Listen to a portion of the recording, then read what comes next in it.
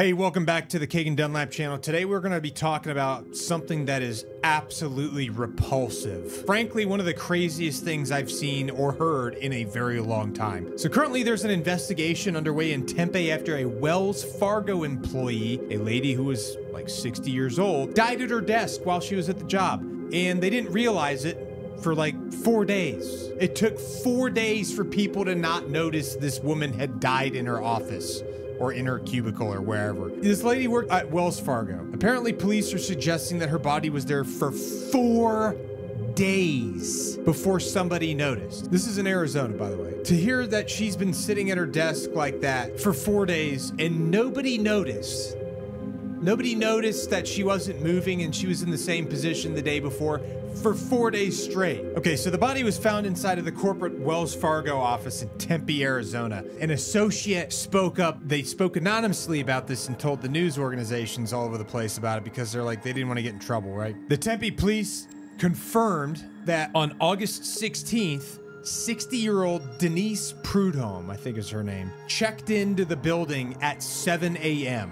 And then on August 20th, the building security called authorities after finding an unresponsive worker four days later. And then officers arrived and confirmed that Prudhomme was dead. Other people had seen her dead at her desk in a cubicle while walking around the building, but nobody said anything. Apparently, her office was like on the third floor away from the main aisle, and so you wouldn't notice. Another employee said that several people smelled a foul odor, but passed it off as faulty plumbing. A foul odor, as in body decomposition, is completely different from the way that anything else smells. For example, when I was a kid, I was, well, not a, yeah, I guess I was a kid. I was in middle school and we had a mouse die inside of our water heater or something like that in the kitchen. And it smelled so horrific that we were like, we gotta, we gotta find out what's going on with this. And that's just like a very small organism, right? Eventually we figured it out. We found out where it was and we had, we had it removed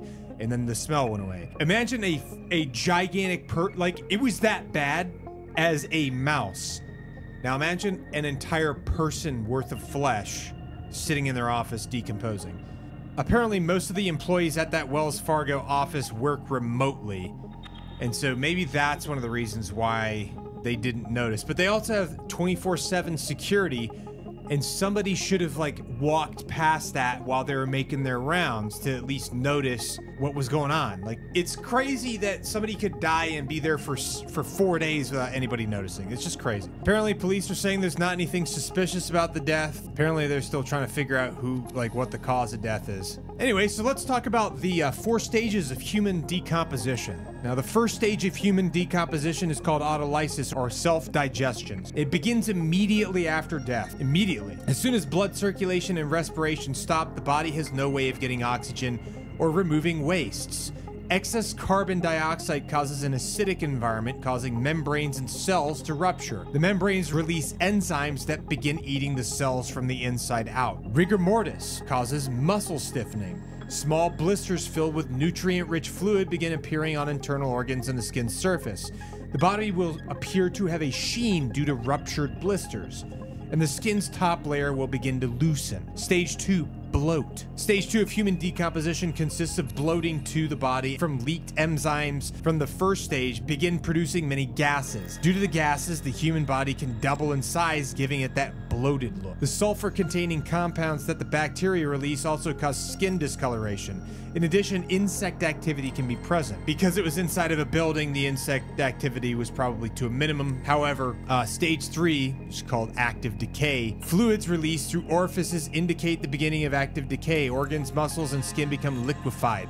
When all the body's soft tissue decompose, hair, bones, cartilage, and other byproducts of decay remain. The cadaver loses most mass during this stage. And then stage four is skeletonization, which you can understand what, like, what that is. Anyway, the timeline for this human body decomposition timeline. About 24 to 72 hours after death, the internal organs for that body decompose. Three to five days after death, the body starts to bloat and blood containing foam leaks from the mouth and nose, which means we were probably in that stage. We're probably in that stage four days in, about halfway through that. Bro,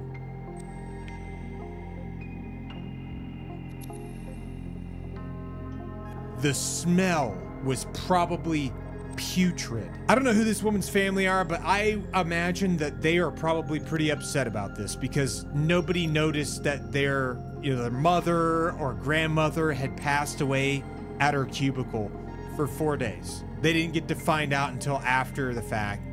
And she started definitely decomposing before they found her. And like, how do you move a decomposing corpse like that without like damaging it and it like falling apart everywhere? I mean, I guess it's only been four days, so hopefully it wouldn't be as bad, but dude, I feel bad for the family, like for sure. Yeah. I don't know. This is uh, one of the craziest stories I've heard in a long time. I'm assuming they're still conducting investigations into this and they're gonna try to figure out if there's like a specific reason why she passed away or if it was just like, hey, as a result of old age, or maybe she had a heart attack. Now, Wells Fargo did not immediately respond to a request for comment when they were asked by news organizations, but the company issued a statement with several other news outlets saying they are deeply saddened by the tragic loss of our colleague and will be providing counselors to support office employees. Now, Wells Fargo developed a really bad reputation a long time ago because of some things that happened in like 2016. It was revealed that employees had created millions of unauthorized accounts without customers' knowledge, which led to widespread public outrage. Their reputation took a massive hit during that.